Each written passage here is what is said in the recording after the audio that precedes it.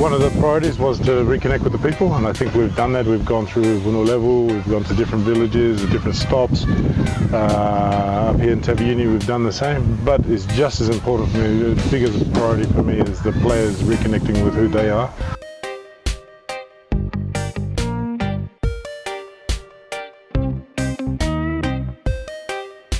Lavinaka, welcome to the island of Taveuni. Welcome to the Time Sports Show on the Fiji Times Facebook and YouTube channel. Uh, we're here in Welagi, Taveuni. Of course, where the Fiji Water Flying Fijians have been camping for this week. Uh, they're here in preparations for the Pacific Nations Cup and uh, the test matches against France and England leading up to the World Cup in France later this year. We're lucky, we're fortunate enough to have uh, the head coach of the Flying Fijian, Simon Raiwalui, speak to us. Uh, coach, thank you for taking out time. I know it's been a busy schedule here in Taveuni. So far, uh, we've uh, crossed the midpoint of uh, the one week uh, that we are here in Taveuni. How has it been for your team? It's been really good. Obviously, uh, had a long travel day on uh, on the Saturday. Uh, it was a great journey because we actually got to. It was the start of our journey. Got to reconnect, meet our people, uh, get together collectively. So it was really good. Um, uh, Sunday we actually got to go to Somosomo, uh, Semiran uh, village, uh, Lotulu, um, and again connect. Um, and then we've had two really good days of uh, work. Uh, I think the first day getting out of a few of the cobwebs, um, just seeing where we were, and it was a really good session yesterday. I think there was improvements across the board, so uh, we were really happy. Hmm. Coming here to Taveuni, I would basically ask, whose idea was it to come here? Uh, it was like when when I when I got the role, it was one of the ideas that we'd had uh, back in 2020. We came here with the academy, uh, myself and Bill Nondolo and a number of the number of the players. And as soon as uh, I was appointed to that role, um, we had such a good time uh, during that period. We we were actually here when uh, Cyclone hit, and we, it was a good experience for the boys and just maybe thought how good it was to reconnect, uh, get back to basics, uh, those sort of things that are important for a rugby team. So that was straight in the mind as soon as I was appointed. We started looking to, into it to see if it was uh, possible. Obviously, it's a big logistical uh, challenge uh, getting all the way here from the mainland, but we were fortunate enough to be able to uh, get it here. Now we're here, and I think we're uh, it's really uh, been profitable uh, so far. For the still still another couple of days uh, to go here, but it's been really good uh, good experience. Hmm. While here, you've had community engagements, you've had a few training sessions as well. Uh, players meeting, uh, you know, their family members. Some of them have their family members here. Some of them are from Taveuni. But uh, you mentioned the main reason coming here was uh, reconnecting uh, from uh, where they are from, you know, where they've uh, come up from.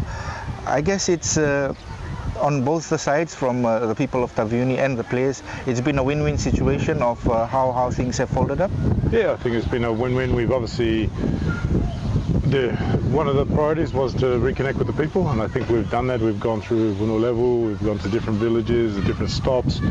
Uh, up here in Taveuni, we've done the same. But it's just as important for me. The biggest priority for me is the players reconnecting with who they are, where they came from, why we play, and what, what we're playing for. And it's a, it's a it's a really important investment for for, us as a team and ourselves and the community. So it's, it's been a really good uh, experience so far. I'm looking forward to the remainder of the week. Mm, One part of it is uh, remembering the past, where they came from, and the other is our future.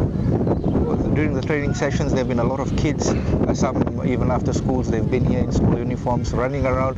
Uh, just yesterday afternoon, we were seeing when Ben Volavola and Teti Tela, they were doing their practice ki- ki- uh, kicking. I think only in Fiji you will get uh, kids running uh, in front of you while you're trying to focus on kicking. So I guess it's uh, more of uh, building for the future as well.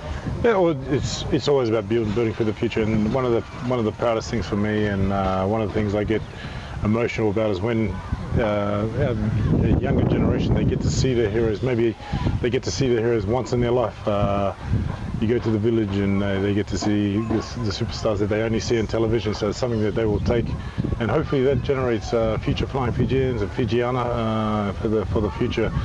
Um, I think it's created a buzz around the rugby again. Um, you see here when we, we've been training, there's been there's been a lot of support around the field. You see at the end of the sessions, the kids are coming on, helping with the bands, helping with the, the grabbing the balls, and just it's it's really about connecting with them both ways, not not just us connecting with them, them connecting with us, and we showing, showing that we're both invested in them because we, we are going to ask for them to support us through to the campaign. We have to invest in them as well. Hmm.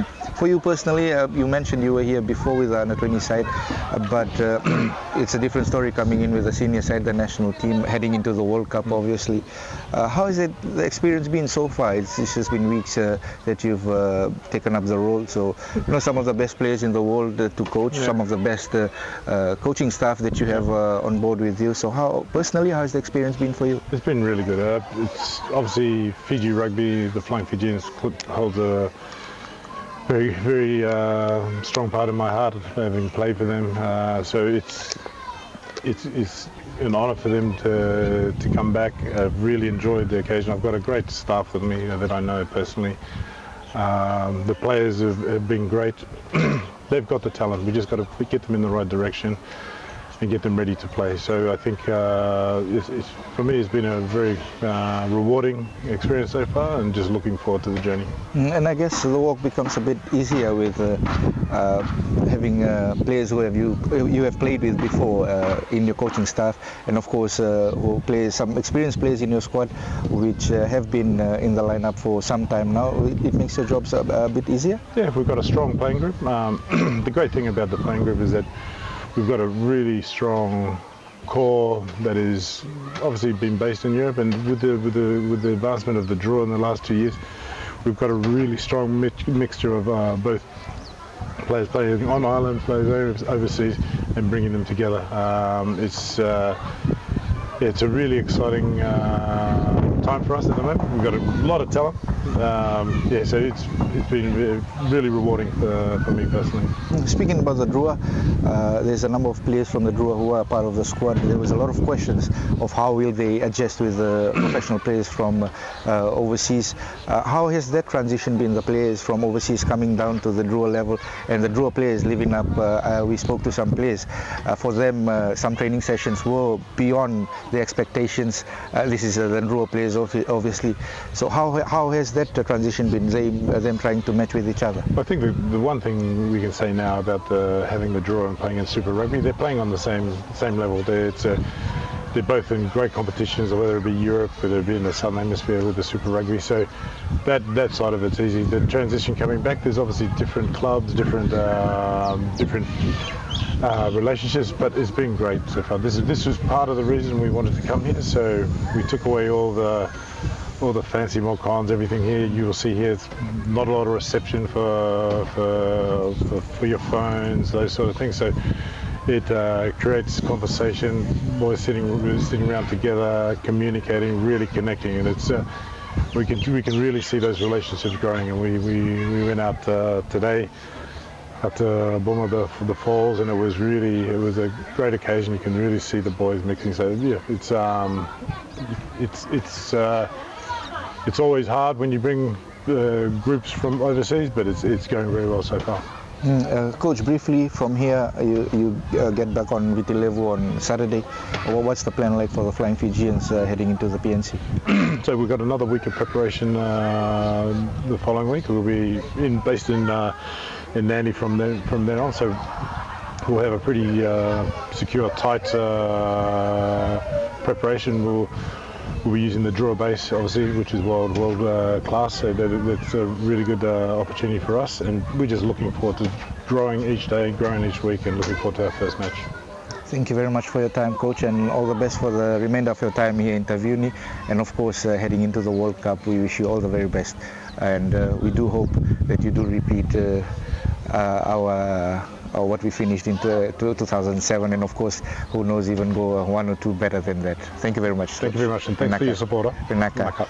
There you go, you heard it from the man himself, the head coach of the Flying Fijians, Simon Raiwalui. Remember to uh, grab your copy of the Fiji Times uh, daily for the latest on the Flying Fijians and of course every other sport uh, that happens around the country. Till we meet again, Nisa Mole.